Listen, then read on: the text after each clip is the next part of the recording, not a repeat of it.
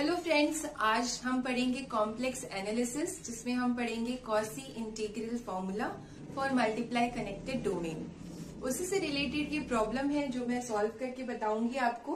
सो so, यहाँ पर हमें इवेलुएट करना है इंटीग्रेशन की value along the curve C ठीक है? सी क्या है हमारे पास? सिंपल क्लोज्ड कर्व है जो कि गिवन है mod Z is equals to two and mod Z is equals to one so इसको हम पहले ड्रॉ करेंगे और फिर हम निकालेंगे इंटीग्रेशन की वैल्यू अलोंग दिस कर्व तो ये इक्वेशन जो हमें दी है mod Z is equals to two ये क्या रिप्रेजेंट कर रहा है? दिस इज़ ये कॉम्प्लेक्स प्लेन में है, ठीक है? एंड ये रिप्रेजेंट कर रहा है कि ये एक सर्कल है. Mod Z is equals to two is a circle of radius two with centre origin क्योंकि यहाँ पर मॉड जेड के बाद में कोई नंबर नहीं है इसलिए इसका सेंटर ज़ीरो है ओरिजिन है। सो so, ये हमारा सेंटर है और टू रेडियस का एक सर्कल हमें ड्रॉ कर लेना है।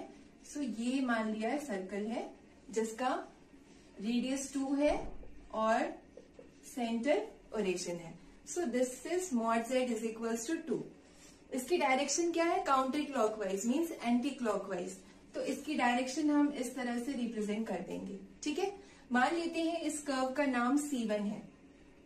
अब हम सेकेंड कर्व ड्रॉ करेंगे mod Z is equals to one ये क्या रिप्रेजेंट कर रहा है? This is also a circle of radius one unit and centre origin तो ओरिजिन ये है इसको मा, सेंटर मानकर वन रेडियस का एक सर्कल हम ड्रॉ कर लेंगे। ठीक है? सो ये क्या है? Mod Z is equals to one है। इसकी डायरेक्शन है क्लॉक वाइज सो ये अपोजिट डायरेक्शन में है क्लॉकवाइज डायरेक्शन में है, ठीक है? मान लेते हैं इस कर्व को नेम दे देते हैं सी टू अब जो इन दोनों के बीच का रीजन है, ये रीजन इस रीजन के अलोंग हमें इंटीग्रेशन की वैल्यू निकालनी है और इस कर्व का नाम क्या दिया है इन्होंने? सी ठीक है? इसको कहा है सी ये जो मैंने शेडेड पोर्शन बनाया है, इसको सी कहा गया है और इसी सी के अलोंग हमें इंटीग्रेशन की वैल्यू निकालनी है। तो इंटीग्रेशन में हमारा फ़ंक्शन क्या है? E to the power Z square divided by Z square and ये Z minus one plus minus I so ये क्या है? अगर हम पूरे फ़ंक्शन की बात करें तो ये फ़ंक्शन जो एफ़ जेड है जेड का फ़ंक्शन जो है, ये क्या है? एनालिटिक है. एक्सेप्ट किस पॉइंट पे? अगर आप ज़ीरो लेंगे तो ज़ीरो पर ये एनालिटिक नहीं होगा डिफ्रेंशिएबल नहीं होगा. और इस पर, ये कौन सा पॉइंट कहलाएगा? Z is equals to one plus I इस पॉइंट पे भी हमारा फ़ंक्शन एनालिटिक नहीं होगा। ठीक है? सो दो पॉइंट्स पे ये फ़ंक्शन एनालिटिक नहीं होगा। अगर हम complete e to the power z divided by z square z minus one minus I इसकी बात करें तो।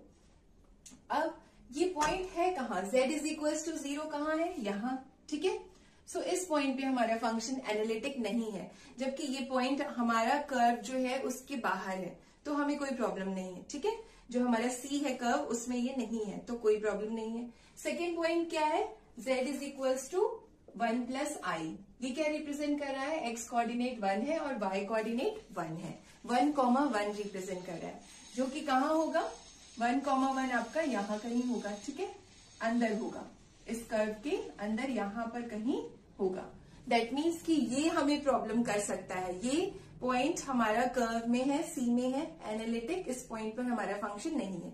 तो लेकिन हम क्या करेंगे? अब आप देखेंगे, हम पूरे को कंसीडर नहीं करेंगे। एफ़ जेड हमारा क्या होगा? E to the power Z square divided by Z square होगा। कैसे? सबसे पहले हम बात कर लेते हैं कौसी इंटीग्रल फॉर्मूला की, जिसका यूज़ हम यहाँ करेंगे, ठीक है? उसी इंटीग्रल फॉर्मूला का यूज़ करके इसको सॉल्व करेंगे। तो ये जो फॉर्मूला है, ये हम यूज़ करेंगे फॉर डबली कनेक्टेड डोमेन ठीक है? क्योंकि यहाँ पर जो हमारा कर्व है डोमेन है जो, वो कैसा है? दो सर्कल्स को, दो सर्कल्स के थ्रू बना है। और ये रीजन क्या कहलाता है? डबली कनेक्टेड डोमेन कहलाता है। तो इसके लिए कौसी इंटीग्रल फॉर्मूला क्या है? तो कौसी इंटीग्रल फॉर्मूला कहता है कि जो फ़ंक्शन है एफ़ एक फ़ंक्शन लिया जेड का, वो फ़ंक्शन एनालिटिक होना चाहिए। किस पे एनालिटिक होना चाहिए? जो आपका कर्व की इक्वेशन है C one and C two उन दोनों के ऊपर होना चाहिए और उन दोनों के बीच में बिटवीन ठीक है? तो मैं अभी ये थ्योरम बता रही हूँ, ये फॉर्मूला बता रही हूँ, क्या है? तो ये फॉर्मूला कहता है let F set B an analytic function between the curve C one and C two and on these curve ठीक है? देन फॉर एनी इंटीरियर और ये कर्व्स कैसे हैं? सिंपल क्लोज्ड कर्व्स ठीक है? फिर कोई भी इंटीरियर पॉइंट ले लीजिए आप इस कर्व में। कोई भी इंटीरियर पॉइंट तो हम मान लेते हैं, ये है इंटीरियर पॉइंट जेड नॉट इस पर फ़ंक्शन की वैल्यू क्या होगी? ये हमें देता है कॉसी इंटीग्रल फॉर्मूला यहाँ पर हम इस इंटीग्रेशन में क्या लेंगे? एफ़ ऑफ़ जेड ले लेंगे E to the power Z square upon Z square इसको एज्यूम करेंगे, क्योंकि आप ये फॉर्मूला इससे कंपेयर कर सकते हैं। इस इंटीग्रेशन की वैल्यू क्या होती है? F of Z upon Z minus Z not और जेड नॉट क्या होना चाहिए? इंटीरियर पॉइंट होना चाहिए। तो हमारा यहाँ जेड नॉट कितना है? वन प्लस आई मीन्स ये वन कॉमा वन रिप्रेजेंट कर रहा है, जो कि इस सी के अंदर है इंटीरियर में है। ठीक है? इसलिए हम यहाँ पर इंटीरियर पॉइंट क्या है हमारा? जेड नॉट की वैल्यू कितनी है? This is one plus I ठीक है? और फ़ंक्शन हमारा क्या हो जाएगा? E to the power Z square upon Z square so इसको मानकर हम ये थ्योरम लगाएँगे। तो इस थ्योरम से क्या होगा? कॉसी इंटीग्रल फॉर्मूले से यहाँ F of Z not Z not हमारा वन प्लस आई है is equals to one upon two pi I integration along the curve C one और यहाँ पर एफ़ जेड एफ़ जेड लिख लेते हैं और जेड माइनस जेड नॉट जो कि वन प्लस आई है। D Z minus one upon two pi I integration along the curve C two F Z upon Z minus Z not D Z अब आप देखिए, यहाँ पर ये जो फॉर्मूला है, ये किसके लिए है? सी वन और सी टू दोनों ही कर्व एंटी क्लॉकवाइज डायरेक्शन में ड्रॉ किए जाते हैं। लेकिन हमारे हमारे क्वेश्चन में क्या दिया है कि सी जो आपका सी वन है, वो तो एंटी क्लॉकवाइज है।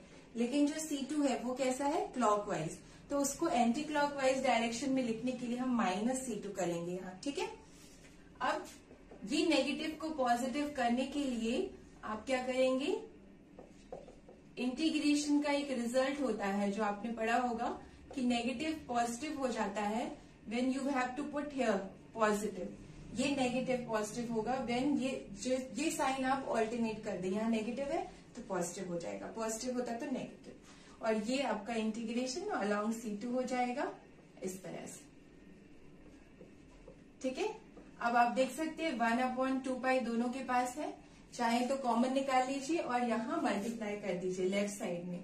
तो ये हो जाएगा two pi I F of one plus I और यहाँ हो जाएगा integration along the curve C two f of z upon z minus z naught dz plus integration along the curve c1 and this is c2 fz upon z minus z naught dz और ये किसके बराबर है दोनों curves का integration का सम है जो कि बराबर होगा अलोंग द कर्व c ठीक है तो ये हो जाएगा two pi I F of one plus I is equals to integration along the curve C F of Z Z minus Z not D इसके बराबर हो जाएगा ओके सो अब हमें क्या करें सो so, अब निकालेंगे हम वैल्यू एफ़ फ़ंक्शन एफ़ की at a point one plus I तो हमारा एफ़ जेड जो है उधर पर हम रख देंगे one plus I is equals to E to the power one plus I whole square one plus I whole square और one plus I whole square की वैल्यू निकाल लेते हैं अलग से सॉल्व कर लेते हैं।